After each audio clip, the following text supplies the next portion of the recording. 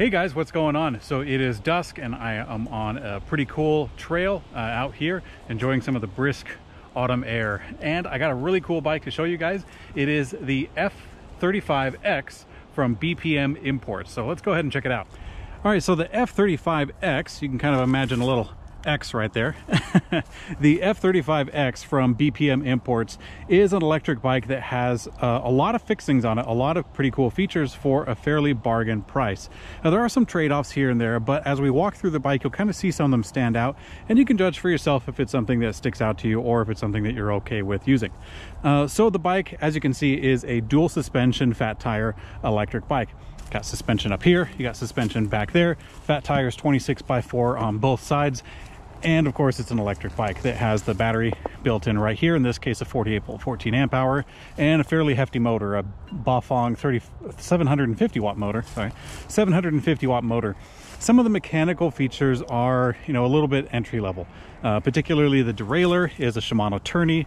The brakes are a disc brake and they got some pretty good rotors, a 180 in the front, 160 in the back, but they are a mechanical system.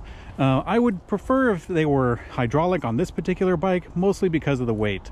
The weight of this bicycle is about 75 pounds. Uh, I measured it exactly and you can check out the full specs on electricbikereview.com if you want to see the weight of the bicycle, the weight of the battery alone, and everything else. But let's go ahead and walk through the bike uh, piece by piece and you can kind of check out check out all the parts for yourself. So starting up front, like I like to do, is a 26 by 4 tire. These are Kenda Juggernaut that are kind of standard on a lot of uh, fat tire electric bikes because they're pretty good performers. You can get these from all the way down to 5 psi up to 30. I usually rock them pretty high myself because I do a fair amount of road riding before I finally get to the trail. Then I can let out a little bit of air when I want to get fun. Uh, so in this case, they have a fairly good tread pattern on them, uh, which is nice for the off-road here, but it's also somewhat smooth. You know, it's not super thick, so you're not going to wear it out if you ride it on the road, because that's what happens. Like you can ride thick uh, knobs on the road, they just wear out really quick. Uh, so in this case, they're kind of shaved down a little bit, so you kind of save yourself that worry there. Uh, up on the front, I did mention the 180 millimeter rotor on the mechanical disc brake It's pretty good that they have a fairly good sized rotor uh, on the disc brake here. Um, and this is the mechanical system. These are a Tektro Aries uh, for the mechanical disc brakes. And of course, mechanical disc brakes are pretty much a standard for electric bikes. There's a handful of lightweight bikes that can kind of get away with uh, doing some caliper brakes or the, what you kind of see is called the cantilever brakes or the old style. Um, but hydraulic, or sorry, disc brakes of any sort are pretty much standard for electric bikes, including this one. Uh, so up on the front, you do have a uh, front fork from Mozo. Uh, so the stanchions on these are 31.2. That means a thickness um, right here on this part. Uh, this is a steel fork, and that kind of contributes to the weight of it. Most of the weight, honestly, is in pretty heavy battery pack, uh, as well as just carrying all the fat tire, uh, everything uh, because in this case you have a fairly wide um, front hub spacing. This is wide to accommodate the width of the front tire. Uh, and as well you have extra space up here, like on the fork. Uh, right along here you have some extra space, so that's some extra weight um, that you have on the bike carrying it around. Um, so I have a fairly straight head tube uh, right up here that kind of pokes out a little bit coming up into uh, the stem. Uh, so the stem has a little bit of an extension to it so you can in my case, I actually have this set fairly low. Uh, so the seat is kind of in its lowest position. Handlebars are a little high. I like that personally when I'm riding around on a bike like this. It makes it a lot of fun.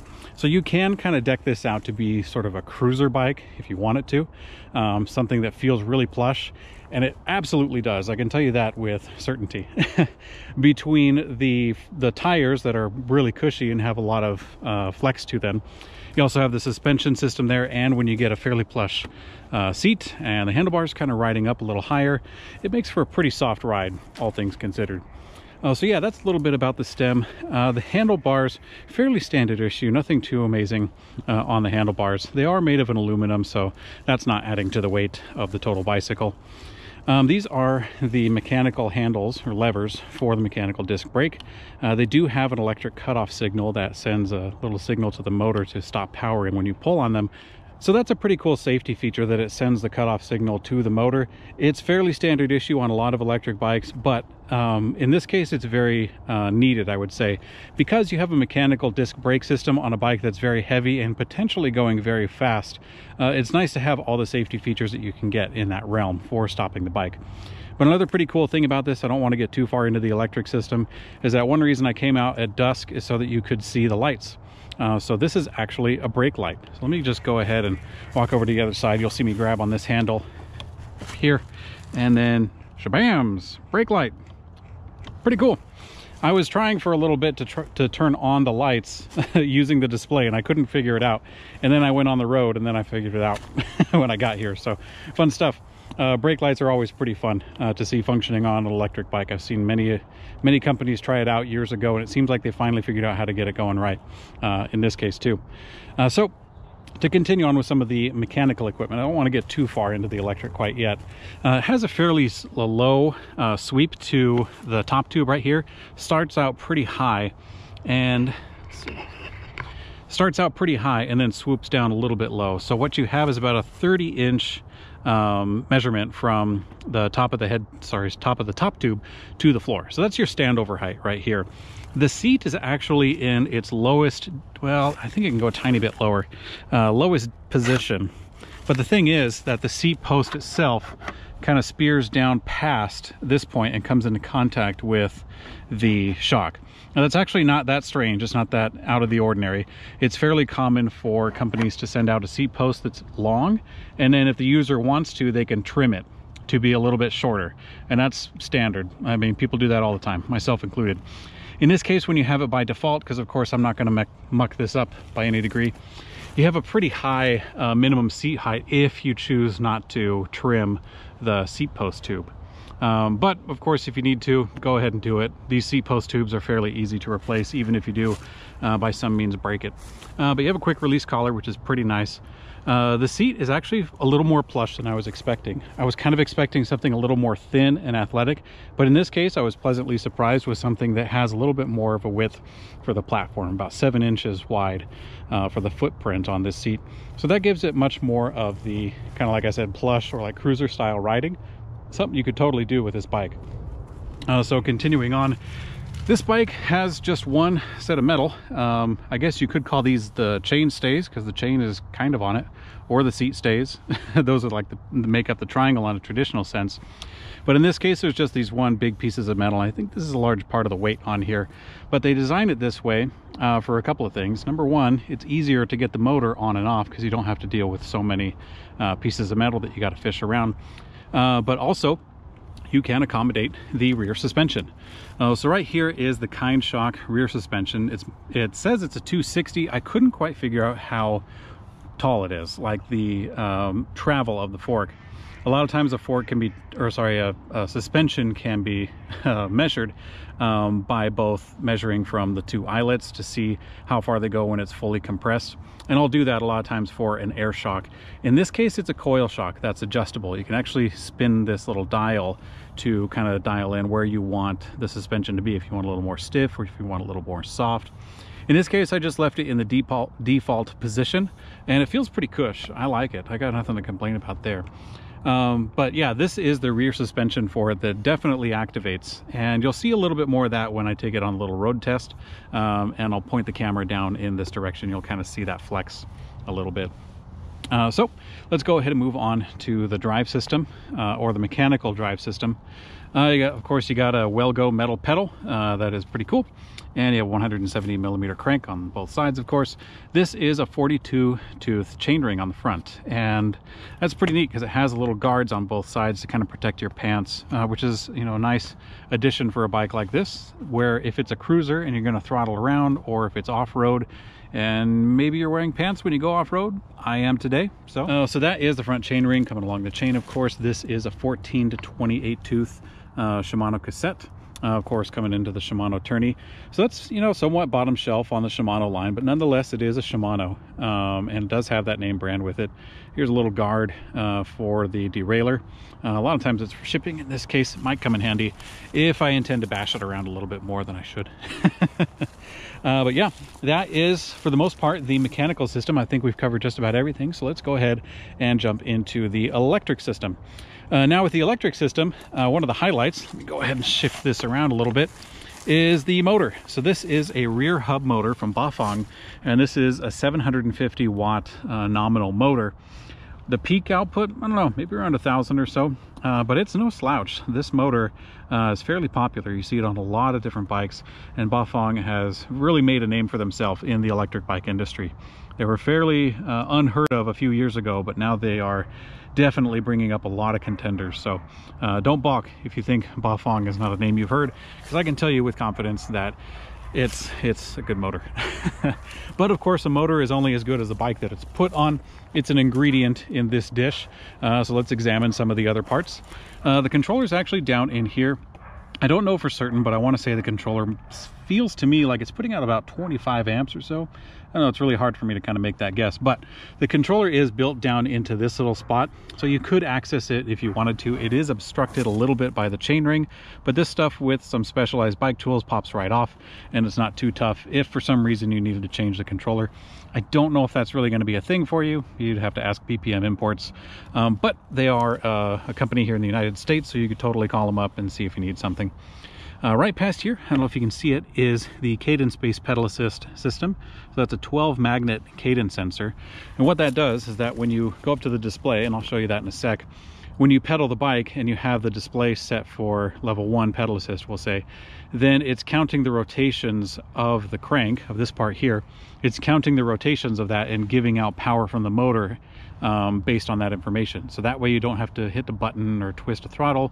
You can just use the pedals in order to engage the electric motor. And if you crank up that level a little bit higher, it just gives you more energy based on the same movement. So with that, it's actually not tied to a torque system. So in this case, you could be in a totally loose mechanical gear and then just rotate the pedals as a formality and the electric motor will push you along. And it's pretty fun. If you haven't tried it, totally should. Um, so uh, the battery. So the battery is fairly unique in a couple of ways.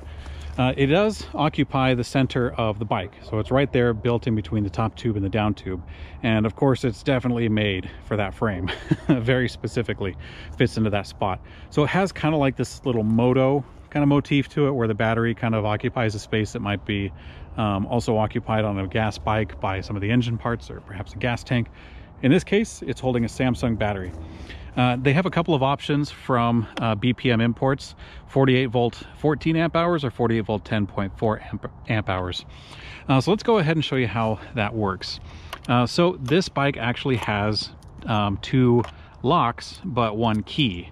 Well, I guess it comes with two keys, but um, the one key works on two locks that you need to open in order to get the motor, or sorry, the battery off.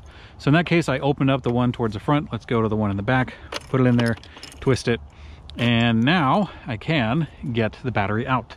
So I'll go ahead and, oh, this is a lot easier with the other hand. Uh, switch. Okay. So it's not the most, uh, not the easiest thing to get on this handle down in there. There we go. Got the handle up, but then the handle is kind of obstructed by the other part of the frame. So you just kind of got to dive in and wedge it out of here. Let's go ahead. It's nice and snug. All right, there we go. Boom they actually see right through the bike. Uh, so this is the battery pack. Uh, in this case, 48 volt, 14 amp hours. Um, it's not terribly heavy. It feels like it's holding about 50 cells or something like that. Um, but you have all your terminals in here that are fairly protected. You know, not a whole lot going to get in there because um, that's I don't know what kind of crash you would do in order to get debris inside of that and you know, heaven help you if that happens uh, the battery the battery case is pretty cool. It fits into this spot, but there are a couple of nuances to it that uh, looks like they got a little bit of ironing out to do. Uh, one of them is this handle. So the handle's pretty cool to carry it around with, but as you saw, it's not really all that useful for using the handle to pull the battery out. And in this case, with the handle up, it actually doesn't even fit inside of the casing. So you gotta get that handle down, no big deal. Put it back in. And then switch hands, get the keys, all right, of course you do the back one first, I've learned. I mean, it doesn't really matter. It's not gonna blow anything up or anything, but let's make sure it's nice and snug. Okay, got the back one in. The reason I say the back first is because this key up front um, not only puts a little pin to physically lock it into position, which is pretty cool. It's nice and secure in there. Uh, also, you need to turn that key into the on position and it is required for ignition on the vehicle. So it's not going to go anywhere electrically until you have the key in here. Uh, so that's one thing that's you know not my favorite part about it because I got somewhat long legs. My knees don't come into contact with this. However, I'm a, I don't know, I'm a little uh, hesitant on having all of my keys dangle there. So if you wanted this bike as a commuter, which I don't know, if you wanted to do that, there are provisions for mounting fenders on both the front and the back, uh, FYI. Not a rack. You probably couldn't get a rack on this thing. That'd be really tough unless it just mounted to the seat post and that's it. But um, so I don't know if you'd be carrying like, you know, your locker keys or your house keys or something like that on here. So yeah, that might not be a big deal after all. Um, but continuing on with the electric system, we got it uh, plugged in in the ignition. Uh, let's go ahead and press the M button on the bottom of the little remote and it'll boot up and show us a couple things. Uh, so here's your speed in big letters, your odometer up in the top right. Uh, your pedal assist level is down in the lower left. Uh, now let's go ahead and press that button. So it looks like there's level one pedal assist, and then there is two, which they call eco mode, and then three for STD, which I can only assume means standard. Power is number four, and then speed for number five. And then that's it. And then you scroll all the way down. Uh, it does have a walk mode, which is rather redundant with the throttle. Know, perhaps that's a European thing. So it does have a walk mode if you press and hold the minus button. Pressing and holding the plus button actually just resets your average speed, your max speed, things like that, that you can scroll through. Um, so I was wondering, you know, I kind of mentioned it earlier, I was kind of wondering a little bit about how to engage the lights. Uh, this one is a brake light, so that's how you do that one.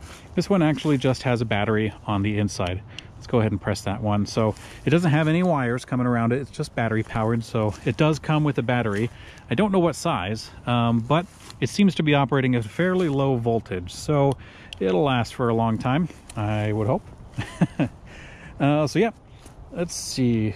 And that's pretty much it for the display. It's a fairly simple system. Uh, pressing the power button will, of course, scroll through some of the parameters there. Uh, so yeah. All right, guys, let's go ahead and go for a ride on the F35X. It's going to be fun stuff. I have the seat fairly low. That way you'll be able to see some of the controls a little bit better.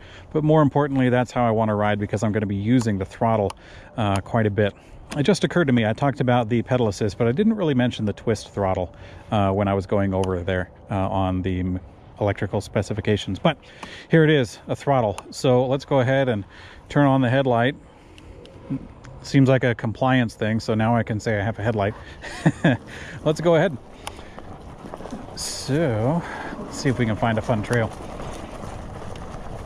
So this trail that I'm on is, you know, fairly low low impact. You know, I would not classify this as a hard trail in the least by a long shot. Um, and that's pretty good for what we're doing here today because we're just testing out a little electric bike, kind of uh, getting our sea legs a little bit. And yeah, let's see. I definitely do prefer the throttle on the bike. You know, pedaling is it's fun. You know, I like it a lot, but I gotta say I prefer just kind of hanging out and doing using the throttle. So if you're in one of those European countries that doesn't allow a throttle, then uh, you know it's it's it's hard to say that uh, I've completely tested the bike for that specific purpose. Because by golly, the throttle is a lot of fun. Let's get through some of the thick stuff. Hopefully, I can get into something a little wet, you know, and then we can kind of show off the fat tireness of it all. Yeah, here we go. Here's a little wetness. I get a little slimy, just a tiny bit, just enough to get the wheels nice and slick. There we go. Full speed. Okay. Can I do a little bit of a circle here? So, yeah, on the F35X, I'm kind of, I'm a little tall. You know, I'm six feet tall and I have a 34 inch inseam. So I'm kind of pressing back a little bit on the rear of the seat um, when I'm using it in throttle mode to kind of uh, get my balance a little bit better uh, while I'm riding the bike. But then if I want to scoot forward and pedal, yeah, you definitely can. Um, here we go. That's fun. So one thing I forgot to mention, let's kind of do that circle again. Yeah. One thing I forgot to mention about the bike, let's go ahead and stand up and get some thickness out of it. One thing I forgot to mention was that the bike has a programmable top speed. I think it comes by default with a 20 mile an hour top speed, but it is user programmable. Like you can go in the settings. If you press and hold the plus and minus button, that will take you into the settings where you can change the wheel size or you can change from kilometers to miles. Um, you can also change the uh, top speed. Top speed, of course, on that little display.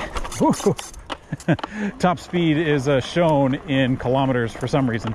So when you change the top speed, you want to change it to 40 kilometers an hour or so, which is a little bit around 25 miles an hour um, if you want to change it there.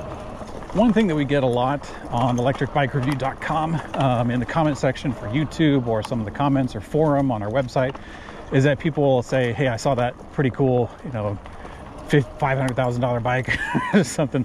When are you going to review something at a more reasonable price point? Uh, and we do, and this is one of them. You know, it's not the most fancy thing, but it can do it.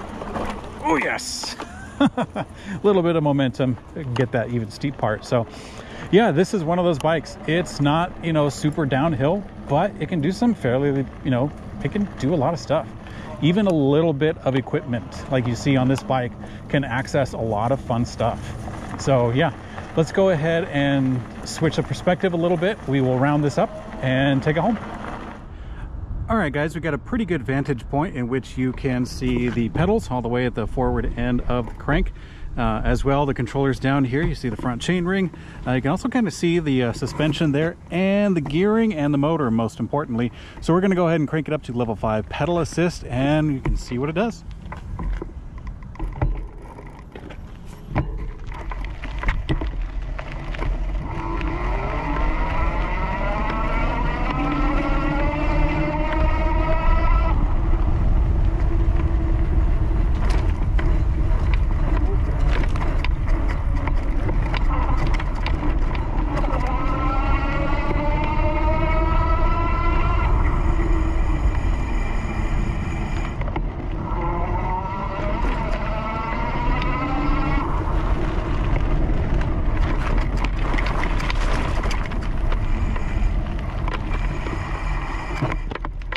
okay that was kind of fun. Hopefully you guys got to see the uh, suspension compress a little bit as i was going over a couple of those bumps.